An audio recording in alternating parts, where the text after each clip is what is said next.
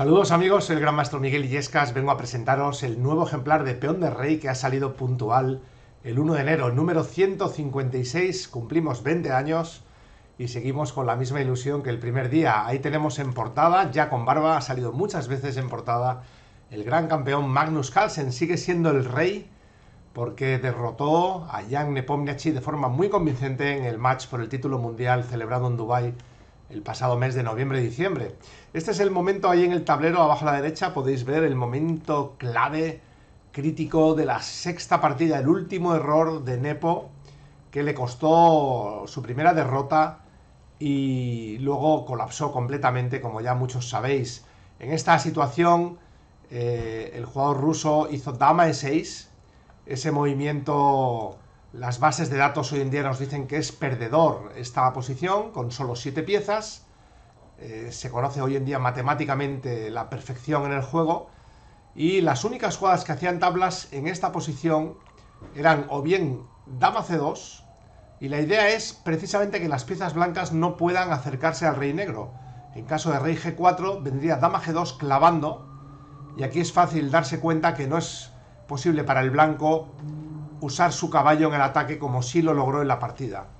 Otra opción era dama b1 y en caso de rey g4, dama g1 clavando igualmente. Lo que pasa que la gran dificultad de defender estas posiciones se ve, por ejemplo, como en esta posición después de torre f6, las negras para hacer tablas solo tienen una jugada, solo una. Y es muy difícil de acertar, que es dama d1, buscando el jaque en f3. Si el blanco se activa con caballo f5, las negras tienen el jaque salvador dama f3 que obliga al blanco a jugar caballo g3 para no perder el peón de f4. Y no hay progreso, ¿verdad?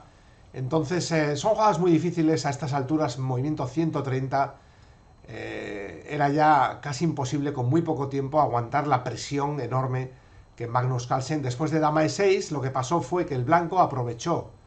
Carlsen avanzó su rey y como vemos, sus piezas se están metiendo dentro, en campo enemigo, y las negras no tienen jaques ni tienen jugadas eficaces para evitar el progreso. Aquí, fantástico movimiento E6, la torre no se puede capturar por el doble jaque en G7, y poco después eh, Magnus logró movilizar todo su ejército sin permitir ni un jaque, y aquí ya es tarde, Nepo abandonó porque contra los jaques el rey blanco se va a refugiar en la casilla G8, y luego llega el avance imparable E7, E8, y de ahí que Nepo se rindiera. Esta derrota, como sabéis, le costó el título.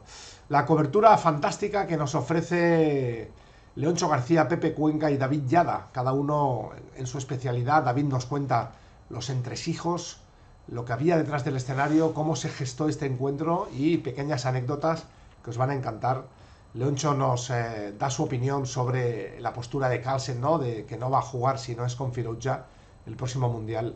Y Pepe Cuenca analiza con gran detalle y de una forma magistral esa sexta partida del Mundial, la clave del Mundial. Vamos a ver el sumario, pero antes quiero dar las gracias a, Luis Fernández Siles y a Rey Enigma por su colaboración especial en este número. El artículo de Luis trata sobre la buena educación en Internet y el artículo de Rey Enigma es enigmático, no os lo puedo contar. Tenéis que comprar la revista. No, ahora lo veremos en el sumario. Antes de eso, agradecer también siempre a los patrocinadores como Chessbase. Y aquí tenéis los nuevos precios de Peón de Rey y la nueva formato para el 2022. Hacemos una gran novedad, regalamos, lo oyes bien, regalamos la versión digital con la suscripción papel. Y con esto, por ejemplo, para América es fantástico porque mientras esperas que te llegue el papel tienes eh, la versión digital ya en cuanto sale. Y también para España, que a veces en el correo tarda una semana, 10 días, pues ahí ya vas disfrutando de los contenidos de Peón de Rey con el acceso a la versión digital. Y no os olvidéis que también incluye la hemeroteca desde el número 120. Son ya como 5 años de Peón de Rey que puedes consultar cualquier artículo. Y también el Club de Video Peón de Rey donde yo voy comentando mis mejores partidas. Espero que lo probéis y disfrutéis de, de esta versión digital de Peón de Rey que con tanto cariño hacemos para vosotros. Fijaros que aquí en el sumario ya vemos un poco pues lo que ofrece este ejemplar, es súper variado. Tenemos el artículo de Rey Enigma, como hemos dicho, que trata del ataque enigmático, ¿eh? y no os puedo contar más. el artículo de Luis, que quién mejor que su personaje del deplorable para hablarnos de la educación Internet, ¿verdad? Ahí queda dicho, es casi tan enigmático como el otro. ¿Qué nos va a contar el deplorable, por Dios? Y luego, bueno, los artículos que hemos mencionado de David Yada, el Pepe Cuenca, y complementamos, lógicamente, un artículo que arranca en la página 16, vamos a verlo, en el que yo comento el Mundial eh, Carlsen Nepomniachtchi. Ahí vemos ese arranque de artículo y por supuesto comento pues el duelo, las aperturas, las diferentes estrategias. Es un artículo muy completo de 10 páginas en el que repasamos toda la, todo lo que sucedió en Dubai. Luego eh, quería destacar también el artículo de Daniel Alsina que nos habla de Firoja, este muchacho que ya se ha encaramado al número 2 de la lista mundial y ahí analizamos eh, su actuación reciente en el Gran Swiss FIDE que le dio plaza precisamente para el torneo de candidatos que, atención, ya lo sabéis, ¿no? Se va a celebrar en Madrid. Fantástico. De, ese torneo, Daniel Sina presta especial atención a las partidas eh, de Firoja y yo también en el europeo, eh, en la página 52, quiero dar las gracias a David Martínez, vámonos a esa página, para que veáis ahí el artículo que nos ha presentado David Martínez sobre el europeo. Y yo ahí comento algunas partidas eh, de Shirov, pero también de Firoja. Quiero enseñaros un momento importante de esa, de esa partida de Firoja. Vamos a verlo en el tablero mm, de análisis que tenemos ahí en la esquina inferior derecha. Me permitís que voy a cargar esa partida, creo que era Firoja contra contra Jobaba Nayer Firoja Jobaba, esta es una partida en la que Firoja demuestra magistralmente cómo es hoy en día uno de los jugadores más fuertes atacando en el ala de rey. Fijaros qué buen criterio. Antes de empezar el ataque, elimina un posible defensor, luego abre líneas. La verdad que el ataque no necesita comentarios, se juega solo, amenaza torre G1, aquí contra rey G8, y él se da cuenta muy bien de que antes de torre G1 tiene que jugar, a ver si sabéis lo que tiene que jugar.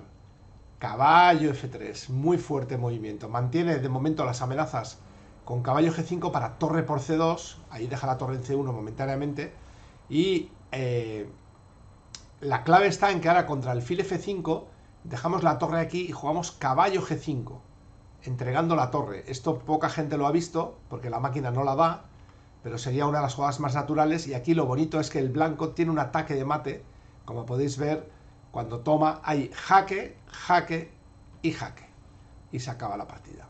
En la partida se jugó G6 y ya ganó igualmente con un ataque fantástico que os invito a ver en la revista. Y la otra partida que comento de ese campeonato de Europa, donde ya brilló, es la que le enfrentó, si no me equivoco, era contra Gilmaz en la que Firoja juega un plan fantástico. Os voy a poner la posición que me impresiona más aquí, en este momento. Esta posición se da después de la jugada 17 de las negras, y aquí se ve un poco las cualidades de Firoja, que no solamente es un buen jugador de ataque, algo lógico para alguien de su edad, sino que como veremos también se maneja muy bien en la estrategia. Espectacular el plan que va a poner en marcha Firoja en esta posición. Podemos ver que las blancas parecen haber logrado alguna ventaja con el control de la casilla de 5, pero ¿cómo continuar? ¿Qué plan podía ser válido? Aquí lo típico sería siempre decir, ¿por qué no llevamos el caballo a D5? Pero va a ser difícil, porque no se ven muy buenas rutas para, para llevar ese plan. ¿Qué hacer con las torres blancas? Tampoco parece claro un objetivo de ataque para las torres, y el alfil tampoco se puede mejorar fácilmente, está controlando el salto a F4. Entonces no parece haber un plan. ¿Qué haríais vosotros? Podéis pensar un ratito. El plan de Firoche es fantástico. Mira, alta estrategia. Primero expulsa la torre enemiga y ahora juega torre C1, que es un misterio para qué es. ¿Verdad? ¿Para qué es torre C1? Para defender el peón de C2. El peón de C2, por cierto, no se podía tomar porque había un torre C1 que se hubiera vuelto contra el jugador contra el jugador de negras. En caso de torre C2, el blanco juega torre C1 y la invasión por la columna abierta va a favorecer a las blancas puesto que el negro está sin enrocar. Corre peligro de colapso total aquí. Por eso jugó torre C6 Mustafa Yilmaz, que es un gran maestro bastante fuerte de Turquía, 2626 elo. Y aquí torre C1 que parece que es para C4, ¿verdad? Cualquiera diría que es para jugar C4. Si ahora el blanco jugara C4, ¿qué pasaría? Que las negras contestarían con fuerza torre C8 y el blanco no podría tomar en B5 por la respuesta torre C1 ganando, ¿verdad? Entonces dices, pues entonces, ¿para qué ha sido torre C1? Pues ahora lo veréis, para jugar C3. Y dices, pero bueno, esto no se entiende. ¿Cuál es la idea? El negro jugó G6, bloqueando el flanco y afianzando caballo en H5 y dejando una ventana a su rey, y el blanco juega torre C2. Es todo muy misterioso. ¿Qué quiere Firouja? Pues ahora lo veremos. El negro siguió jugando tranquilo las naturales, preparándose para una eventual apertura del flanco de dama, y Firouja juega torre HC1, el negro juega A5, y aquí sigue un movimiento magistral que nos demuestra hasta qué punto Firouja había planificado bien su idea. B4 espectacular. El asunto está en que C4 y C5 no funciona porque después de peón por se abre la columna para favor de las blancas, pero el negro entra con mucha fuerza con su caballo. Esto es algo que eh, no quería permitir y con mucha razón. Entonces, ¿cómo lo hizo? Pues jugó B4, que es espectacular, porque su idea es a la siguiente jugar C4. De hecho, a las negras el bloqueo no funciona porque el blanco juega A3 y luego es imparable C4. En la partida se jugó torre C8 para intentar tomar en B4 y ahora llega el A4, que es complemento de la jugada anterior del B4, es brutal y os invito a descubrir el desenlace en la partida. Fue increíble cómo le superó y en todo momento manteniendo a raya el caballo negro. Bien, la revista tiene muchísimos más contenidos, lógicamente Destacaría también, si os parece, las coberturas de otros torneos, como por ejemplo el Campeonato de España Veteranos. Quiero dar las gracias a Michael Rajal por volver a colaborar en la revista y tenemos a Michael, felicidades, campeón de la categoría más 50 y mi buen amigo, gran maestro José Luis Fernández, que me acompañó en tantos torneos, triunfando en categoría de 65 años. En el sumario vemos también una cobertura del torneo Llobregat Open Chess. Y un torneo, por cierto, que hay que dar la enhorabuena al organizador porque apunta muy buenas maneras. Ya en su segunda edición logró atraer una gran atención mediática y tenemos la suerte de contar con Jesús de la Villa eh, colaborando en ese número. Por cierto que ahí, bueno, había alguna anécdota, me vais a permitir que os cuente una anécdota de ese torneo. Eh, en la página 60 vemos cómo De la Villa analiza el final de Erigaisi contra Aditya. Y si me lo permitís, lo voy a intentar poner aquí en el tablero de análisis. Esa es la posición en la que el jugador blanco, que es un gran maestro indio muy joven, Arjun Erigaisi, pues cometió un gravísimo error. Es divertido porque De la Villa y yo estábamos comentando en directo la ronda y aquí yo dije, bueno, va, Jesús, esta partida ya está vista para sentencia porque Torre 2 contra Torre es muy fácil. El blanco es un gran maestro, 2600. Y mi hijo Jesús dice, no creas, ¿eh? dice, hay mucha gente que no se lo sabe. Y luego me mandó un WhatsApp por la noche y me dice, tablas. Había sido tablas increíblemente esta partida Arjun Erigaisi contra Mitaladilla. ¿Qué jugaríais con blancas? ¿Os conocéis este final? ¿Cómo se gana este final? Pues este final se gana simplemente llevando los dos peones a sexta. En la partida lo hizo mal, Erigaisi avanzó a 7 antes de tener los dos peones en sexta y esto es un error decisivo porque ahora resulta que cuando juegues rey a 6 para jugar b6 te meten un jaque mortal mortal me refiero que un jaque que logra tablas eh, ahora ya las tablas son eh, obligadas por rey ahogado entonces, eh, incluso después de B6 se entrega la torre y se logra el empate por rey ahogado. Esto no lo sabía el joven indio y acabó entablando esta partida y dejando escapar una gran oportunidad de ponerse líder en el torneo. Si me lo permitís, volvemos al sumario para concluir ya el repaso a este número tan variado. No quiero dejar de dar las gracias a colaboradores eh, habituales como Mario Tallarico, que nos regala un magnífico artículo riendo con los grandes maestros, con sus eh, famosas anécdotas. Y también de forma muy especial el artículo, agradecer a Carlos Hilardo, el periodista argentino, el magnífico artículo retrospectivo que nos brinda sobre el encuentro que disputaron Bobby Fischer contra Tigran Petrosian en Buenos Aires en el año 1971. Me encantó este artículo porque recupera frases, anécdotas, detalles totalmente desconocidos, al menos para mí, de aquel encuentro que, como sabéis, eh, fue el paso previo al, famoso match del siglo Fischer-Spassky. Fischer venía de derrotar 6-0 a, a, Taimanov y a, Larsen y se veía Petrosian era el último obstáculo que la gran maquinaria soviética podía interponer entre Fischer y Spassky.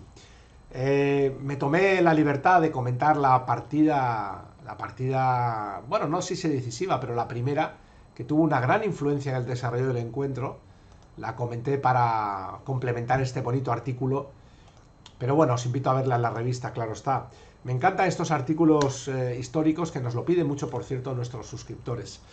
Eh, el número lleva más cosas. Increíblemente, pues tenemos que dar las gracias a Jordi Magem, por haberse prestado a hacer un análisis del equipo español, eh, la crónica que firma David Martínez.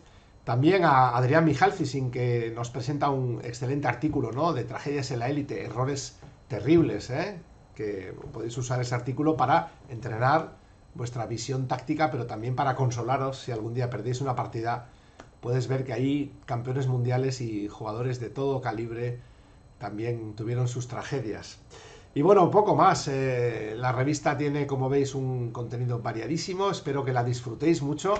No dejéis de apoyarnos con retweets, con likes, con todo lo que podáis. Si no podéis suscribiros, no pasa nada. Seguramente algún amigo también os va a pasar alguna invitación. También tenemos en. Tenemos también eh, revistas gratis en la web de AGR21. Podéis ir ahí a buscarlas. Muchas promociones siempre. Y ahora en el torneo del día 16, en el aniversario, sorteamos bastantes suscripciones. No dejéis de acompañarnos. Creo, si no me equivoco, que ese torneo está la publicidad en la página 35. Déjame verlo, a ver si os lo puedo enseñar. Ahí está. El gran torneo 20 aniversario de Peón de Rey. montón de premios, 20 premios.